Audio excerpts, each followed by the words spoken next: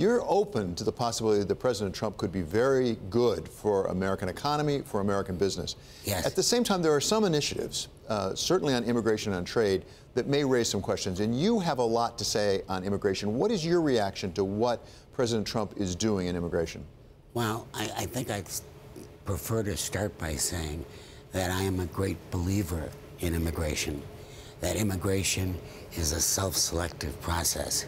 The reason America is great is because we got the best of everybody from all over the world that came together to make up our country. Uh, I think it would be very, very bad policy to discourage immigration. Having said that, we also live in a country where there's a rule of law. And I've operated in parts of the world where there is no rule of law.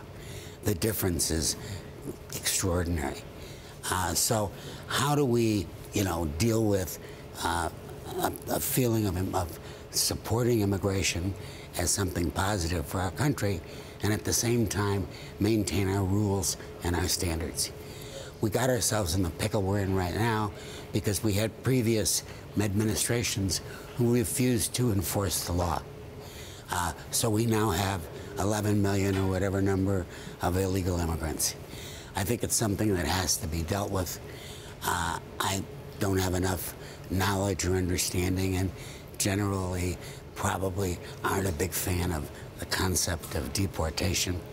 On the other hand, if the deportation was really limited to people with a criminal background, I'd have a hard time uh, disagreeing with that. Uh, but I think that uh, it, we, this has been a festering problem. Uh, you know, I remember when George Bush was elected, and he was going to solve the immigration problem. And we've had, you know, subsequent periods. Uh, you had eight years of very lax uh, administration approach to it. I think it's something that uh, disturbs America, uh, disturbs what our, our own basic concept of fairness. Right. I mean, my parents came to this country four months before I was born. They came here legally. They went through all of the, you know, uh, hoops and, uh, and difficulties in order to be here legally. Uh, I'm not sure that's a bad standard. No, as you suggest, I mean, there are the ideals and then there are the realistic alternatives. Uh, if you were to take it's estimated 8 million of the 11 million are working age and are working in the economy. If you were to take them all of the economy right now, it would really do damage to the economy.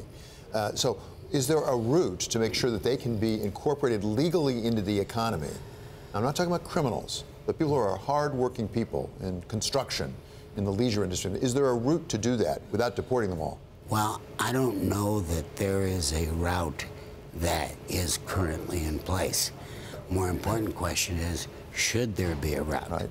And uh, I don't have any problem with the idea that there should be a route, as long as we don't uh, create a massive moral hazard. Hmm. I mean, when you see uh, undocumented children unaccompanied by parents being put on trains to cross the U.S. border because we have a policy that doesn't make a lot of sense, uh, that disturbs me a lot.